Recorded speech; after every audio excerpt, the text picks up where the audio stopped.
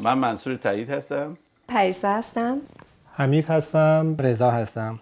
من ندا هستم. My name is Dwight. نقمه هستم. افسانه هستم.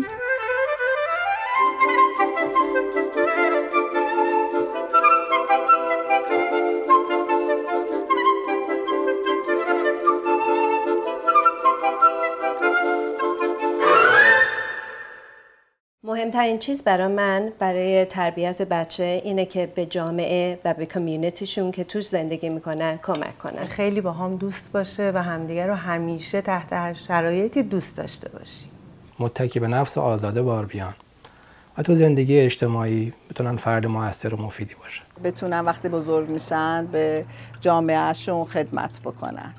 They must be prepared to compete in this world that we live in. چه از لحاظ جسمی و چه از لحاظ روحی سالم باشن تا بتونن هرچه بیشتر به جامعه اطرافشون خدمت بکنن. باهاش دوست باشم یه دوست واقعی. مهمترین چیز در تربیت فرزندانم اینه که تربیت بشن. یعنی به حرف ما گوش بدن.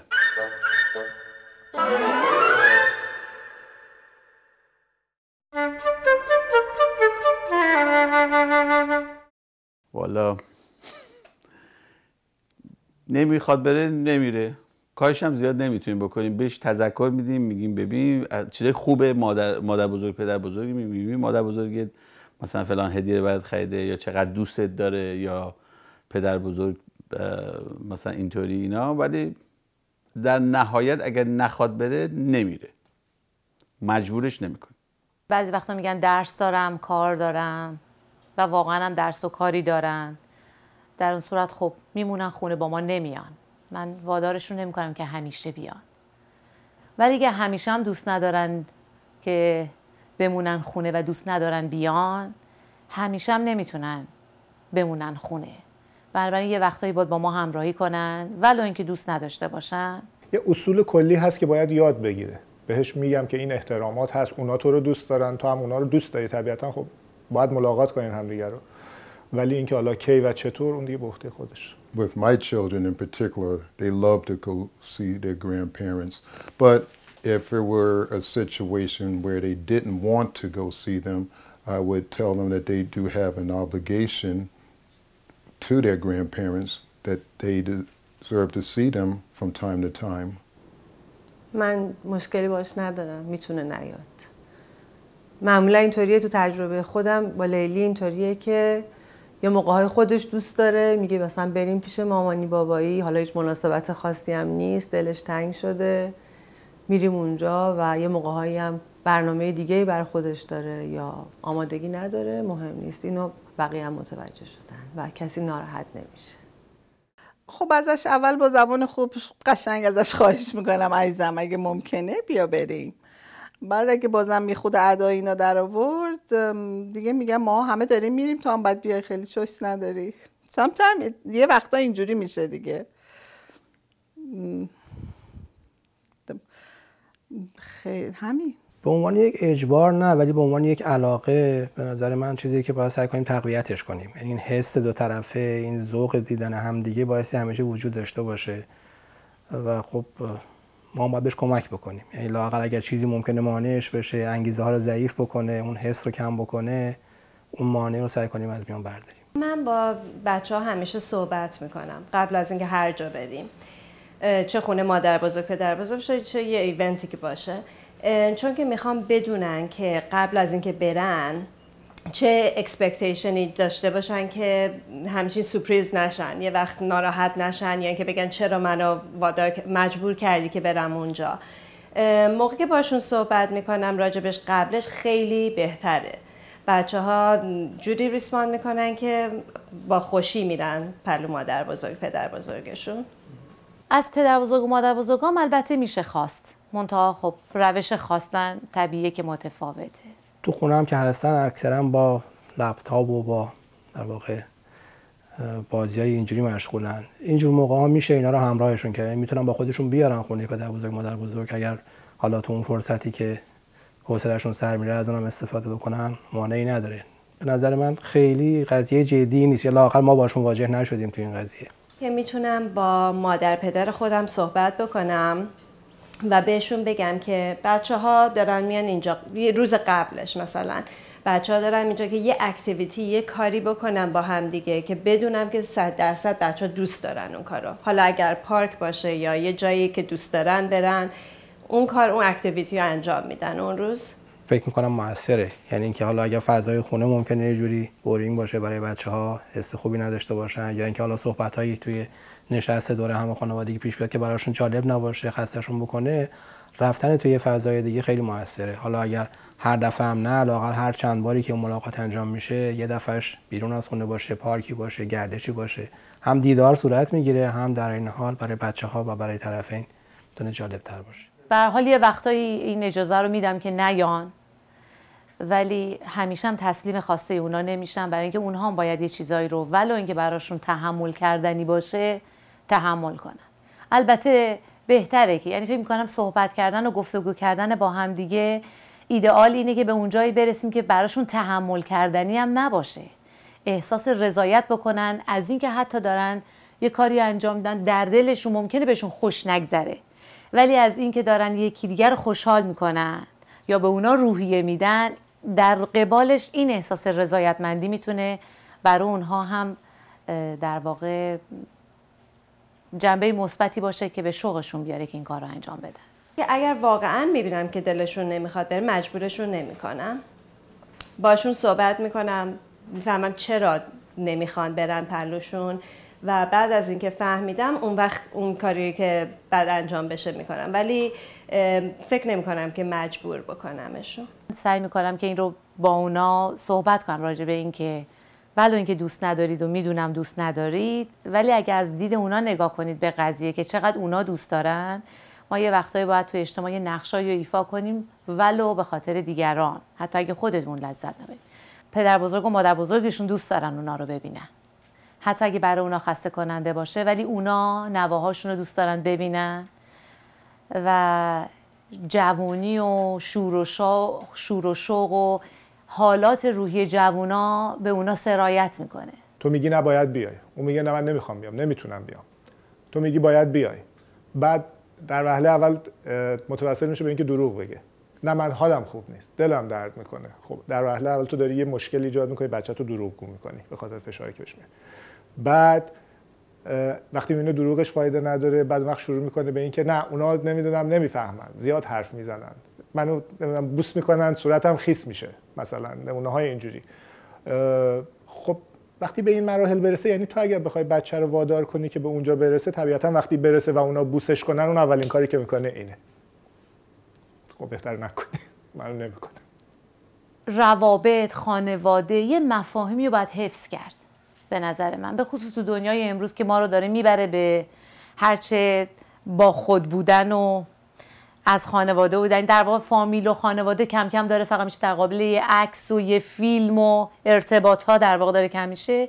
موقعیت هایی که هنوز وجود داره که می‌تونه ارتباط رو در رو باشه رو من برام خیلی مهمه و فکر می‌کنم باید حفظ کرد. حالا شاید نگم به عنوان اینکه روتین هفته یک شنبه ها حتما باید صبح بریم اونجا یا یک شنبه ها فلان. شاید نه به عنوان یه برنامه قطعی روتین ولی به عنوان یه ارزششون برای من خیلی مهمه و فکر می‌کنم ریشه های ماست خانواده ماست ارتباطات ماست. این تعلقات رو باید بهش بها داد و حفظ کرد حتی امکان.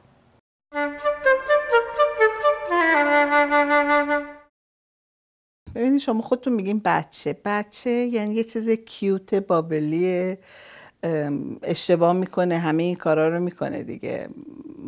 این والا بچه های من پدر بزرگ مادر بزرگشون رو خیلی دوست داشتن. تو در قید حیات بودن خیلی دوست داشتن. الان هم هر که هست خیلی دوست دارن. ادا اینا هم که در میاره پدر بزرگ مادر بزرگ که می‌دونی چجوری. میگن وای چقدر بامزه است. دیگه اون حالت های خیلی قدیم که بعد خیلی احترام بذاری صاف بشینی نه پاتو رو میز نذاری اینا. دیگه این روزا تو این فرهنگی که ما اینجا هستیم اتفاق نمیافته. اصولا حالا در سیستم خانوادگی ما توهین قابل قبول نیست. چه نسبت به پدر بزرگ چه نسبت به دوست چه نسبت به هر کسی دیگه. در نتیجه خیلی جدی تذکر که نباید این کار بکنی I would pull them aside and tell them that that is not the behavior that they should demonstrate especially with their grandparents or anyone for that matter because they need to learn to respect them. مسلما در رفتارم یه جور نشون میدم که بدون اصلا از این کارش خوشم نیامده یا خوشحال نیستم یا خیلی چیز پذیرفتنی نیست که بگم او اشکالی نداره مامان جون حالا تو ناراحت بودی نه به حال یک وقتی کار خلافی صورت می‌گیره؟ به نوعی باید بازخوردشون ببینه و متوجه بشه که این کارش کار درستی نیست. تو اون شرایط معمولا کاری آدم نمی‌تونه انجام بده یا من کاری انجام نمیدم. ولی بعدا خیلی راحت آدم با هم صحبت می‌کنه و اینکه مثلا من بهش میگم که دوست دارم که وقتی اونا میان مثلا در هر شرایطی که هستی بلنشی بیای جلوی در مثلا روبوسی کنی احوال پرسی کنی. بعد مثلا بری به کارهای خودت برسی. البته این صحبت اون اوایل نوجوانیه که واقعا هنوز هیچی نمی‌دونن. حالا لزوما جلوی اگه در جمع باشه لزوما جلوی افراد دیگه ممکنه بهش مستقیما صحبت نکنم. به هر حال اون هم مهمه که شخصیتش تحقیر نشه. ولی احتمالا ازش می‌خوام که با من همراهی کنه. میبرمش یه جای دیگه ای دور از بقیه باش صحبت می‌کنم که در واقع چی می‌خوای یا مسئله چیه یا چی شد یا چرا پرت کردی یا سعی می‌کنم که در واقع با یک همدلی متوجه بشم که اصل قضیه چیه چی ناراحتش می‌کنه و حتی الامکان فکر می‌کنم سعی می‌کنم با گفتگو کردن به یک تعادلی برسونمش در حد امکان. سوال می‌کنم از بچه ها که جریان چی بوده؟ از مادر پدرم هم همینطور سوال میکنم که چی شد و چی بود که این it caused this to happen که بچه ها اینجور ریاکت بکنن I would try to make an example of the friends that they have and ask them would their friends do such a thing and in my children's case they have friends who would not disrespect their parents or grandparents in that way So i would make sure that they understand that this is not something that children do. اون بچه لاقل تو سن پایین احساسشه که باعث میشه این کارو بکنه. خیلی قضیه از فکر و عقل ناشی نمیشه که بخوای حالا با نصیحت و اینجور چیزا درستش بکنه اون حس رو باید اینجوری درست کرد. به پدر بزرگ و مادر بزرگ میگیم که حسابشون رو برسه. یعنی من فکر می‌کنم که هر چقدر روابط با هم باشه یعنی از طریق یک کسی دیگه نباشه بهتره. بر همین اگر که یه همچین اتفاق میفته مادر بزرگ و پدر بزرگ ناراحت هستن از این قضیه سعی می‌کنم که به اونا بگم که خودشون ارتباط برقرار بکنن و هر چی می‌خوان بگن بگن. من این وسط خودم رو داخل نکنم. اگر خود در واقع پدر بزرگ و مادر بزرگ بالغ عمل بکنن خیلی زود رفت میشه این قضیه. اما اگر اونا بخوان یه جوری بهشون بر بخوره یا سخت باشه براشون خود والدین هم معذب میشن یه جوری باید جلوی بچه رو بگیرن یه جوری باید این روابط رو محدود بکنن به هر صورت لطمه می‌زنه. ولی فکر می‌کنم بایستی هر دو طرف یعنی هم ما و هم پدر بزرگ و مادر بزرگ تو این قضیه خورده بالغتر عمل بکنن. یعنی اونجوری که بچه ممکنه اشتباهایی بکنه با یه عکس عمل تون یا دلخوری حالا بی جهت قضیه رو تندترش نکنن و به قضیه دامن نزنن. خیلی سریع و راحت میشه این قضیه در واقع کوچیک رو حل کرد. ما به عنوان تنبیه کاری که می‌کنیم اینه که چیزی که خیلی دوست دارن ازشون یه مدت می‌گیریم.